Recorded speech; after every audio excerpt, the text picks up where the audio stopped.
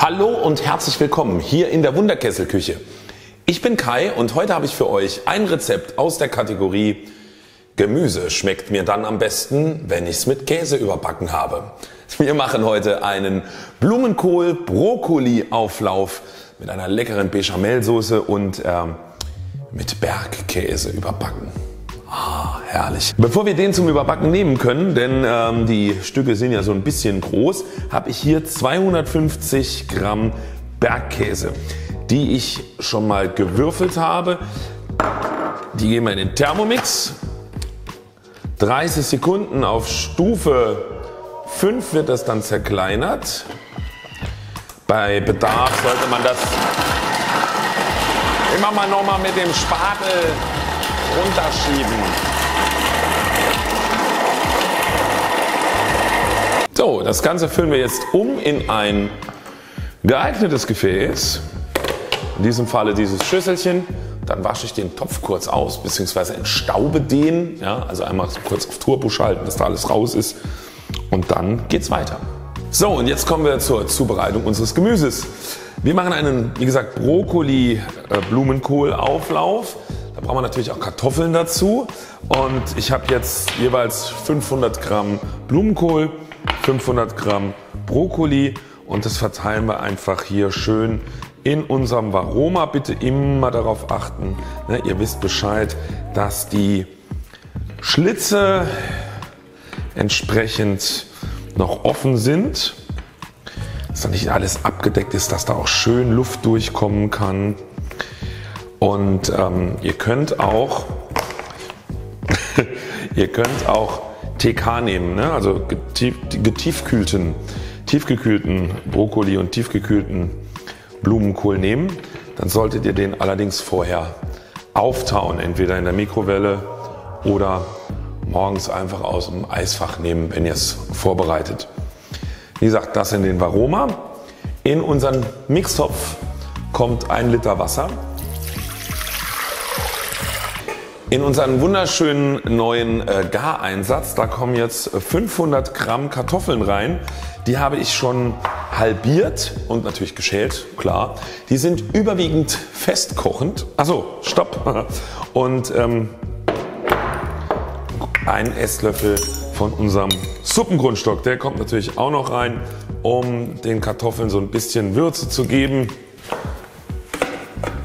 Zack, einmal zweimal, dreimal und viermal. So, 28 Minuten werdet ihr das jetzt kochen auf der Varoma-Stufe, also dämpfen, ne? 28 Minuten.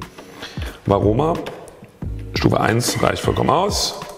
Und dann sehen wir uns in knapp 30 Minuten wieder. Der Blumenkohl, die Kartoffeln, der Brokkoli sind bereits gedünstet und ich habe eine entsprechende Auflaufform bereitgestellt, in die wir jetzt das ganze Gemüse hineingeben. So, das sieht ja jetzt mega voll aus, aber da müssen auch noch die Kartoffeln rein. Die werden wir allerdings jetzt, ähm, bevor wir die reingeben, noch mal ein bisschen kleiner schneiden. So, und dann geben wir die einfach hier dazu, verteilen das ein bisschen und jetzt kümmern wir uns um die Soße. Die ganze Gemüsebrühe, die da drin ist, die heben wir natürlich auf. Ähm, ihr braucht den Topf nicht auszuspülen, meines Erachtens nach. Das kann man eigentlich so lassen.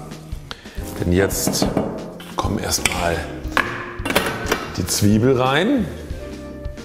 Und zwar habe ich eine Zwiebel hier schon halbiert. Die machen wir jetzt relativ klein.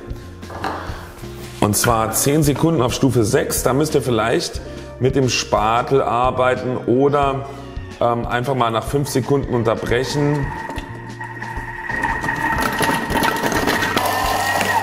Kurz unterbrechen, runterschieben und dann weiter damit die richtig schön klein werden, die Zwiebeln. So, Als nächstes kommen 30 Gramm Butter dazu. Das mache ich jetzt gerade hier durch den Deckel. Und das Ganze wird jetzt drei Minuten auf Stufe 1 in Varoma, ach ich sollte vielleicht doch nochmal nach unten schieben, drei Minuten Stufe 1 Varoma gedünstet. In der Zwischenzeit heize ich schon mal den Backofen vor auf 180 Grad Umluft. Wenn ihr keinen Umluftherd habt, dann macht einfach 200 Grad Ober- und Unterhitze.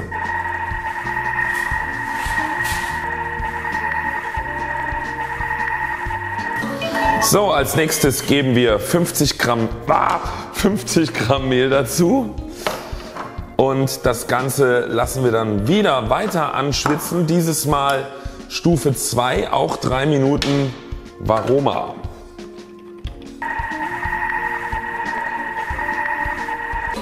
Jetzt stellen wir kurz die Waage ein normalerweise und wiegen die nächsten Zutaten ab. Aber da ich die schon abgemessen habe, brauchen wir das nicht. Wir nehmen 150 Milliliter Sahne, 450 Milliliter Gemüsebrühe.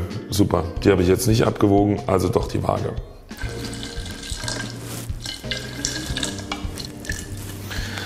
So, eine Prise Muskatnuss muss auf jeden Fall daran, weil Brokkoli und, und vor allen Dingen auch Blumenkohl, da muss Muskatnuss ran etwas Salz und Pfeffer.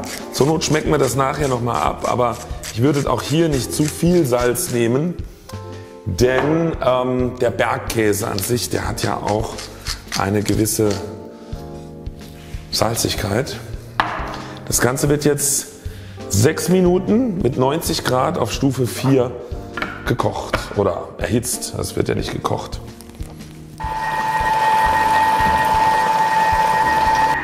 8 Sekunden Abkühlphase. Warum auch immer, es ist ja trotzdem noch heiß. Aber er macht immer, immer 8 Sekunden Abkühl. Das habe ich auch beim TM5 schon nicht verstanden. So, jetzt müssen wir noch was einwiegen, bevor unsere Soße jetzt hier endgültig über den Auflauf kommt. Nämlich 120 Gramm des bereits im Vorfeld geriebenen Bergkäses. Okay, das war jetzt ein bisschen viel, ist aber nicht schlimm. Der Käse ist ja trotzdem drin. Und das Ganze mischen wir jetzt nochmal. Stufe 4, eine Minute.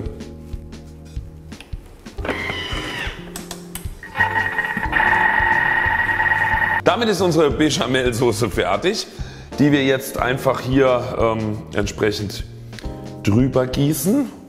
Fast die Gemüsebrühe umgekippt. Ähm, den restlichen Käse, ganz klar, den streuen wir jetzt gleich drüber. Ich kratze hier mal noch ein bisschen aus. Da ist jede Menge noch im Kessel. Das sind doch etwas zähflüssig, dass das hier alles schön drüber ist. Und ein bisschen Käse drüber. Ein klein wenig Fromage, wie man in Frankreich sagt. So, und wenn wir die ganze Fromage über die Auflauf gegeben haben, übergeben wir die ganze Chose an die Backofen 180 Grad 20 Minuten. Wir sehen uns gleich. A bientôt. So Leute, unser Blumenkohl, Brokkoli, Kartoffel, Bechamel, Käseauflauf ist jetzt fertig. Ich habe nur noch einen einzigen Topflappen. Der andere ist unauffindbar. Wer hat meinen Topflappen geklaut? Ich prangere das an. Und ich dachte ja so am Anfang, vielleicht ist es ein bisschen wenig Soße, aber das sieht gut aus. Und ich probiere jetzt, bevor ich das hier serviere und so, ich probiere das jetzt einfach aus dem Topf, ja, aus der Auflaufform. Oh, cool, ich mag ja Bergkäse, das ist ja was Feines. Und jetzt erstmal ein Kartoffelchen ins Süßchen rein.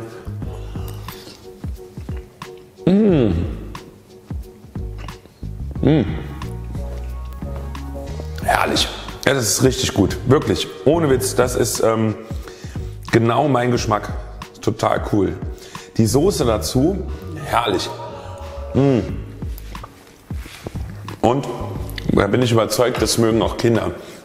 Es schmeckt wirklich, wirklich gut. Ist eine tolle Möglichkeit, Gemüse zuzubereiten. Ist vielleicht jetzt nicht gerade die kalorienreduzierteste Art, aber hey, Leute, was soll's, ja? Das ist ja auch kein Bauch. Das ist ein Feinkostgewölbe. In diesem Sinne wünsche ich euch viel Spaß beim Nachkochen. Wenn es euch gefallen hat, lasst mir einen Daumen nach oben da und abonniert vielleicht auch den Kanal, denn nur hier gibt es die besten Rezepte aus dem Wunderkessel Forum. Schreibt mir in die Kommentare, wie es euch geschmeckt hat und bis dahin sage ich Tschüss und guten Appetit.